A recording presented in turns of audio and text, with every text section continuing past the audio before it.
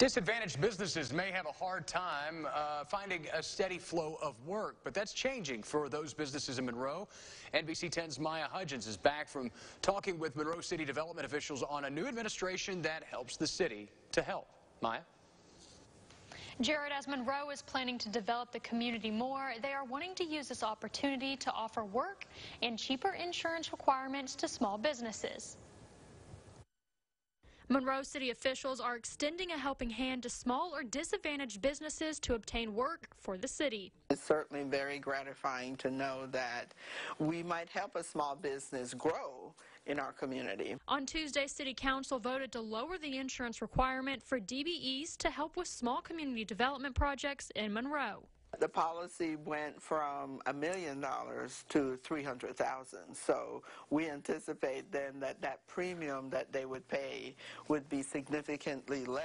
These small businesses are contracted to work a $14,000 project, but paying $1 million in insurance is almost impossible. When the city has a project, they give the disadvantaged businesses preference. They get the opportunity with most uh, city projects. We set a goal to have a percentage of the work go to those businesses. The percentage can be as low as 2% or as high as 15%. Currently, the city is wanting these businesses to help them on a small housing rehabilitation project. We certainly think of ways to work with more and more people, both in terms of residents who could qualify and come in for the program to get assistance, but then also supporting entrepreneurs. The program has about 10 DBEs ranging from gravel contractors, construction, and appliance services. But they hope more small businesses will join.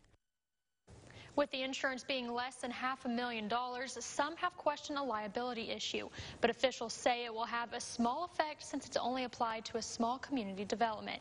In the studio, Maya Hudgens, NBC 10, you're